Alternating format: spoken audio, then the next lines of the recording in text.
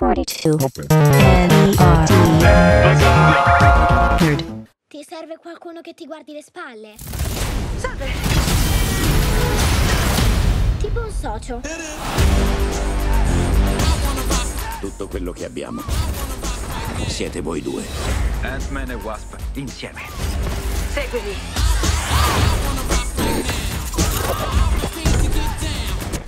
Lei sembra più intensa. So, I was sharing the title with the amazing Wasp? Are you honestly glad, or you are a little bit? Hmm.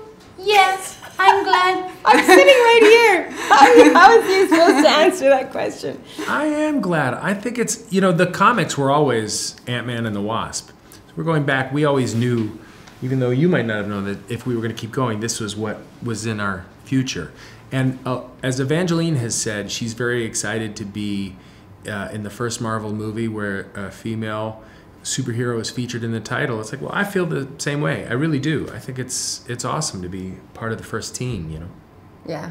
And you? Are you glad of sharing the title? I've been asked a lot by a lot of journalists, um, would you like to have a standalone Wasp film? And I have always said no. I, I wouldn't. I just, I love this partnership, and I don't think that Wasp is as good without Ant Man, or Ant Man is good without the Wasp. They, be, they belong together. And like, if you go back to the original comic books, they were always a team.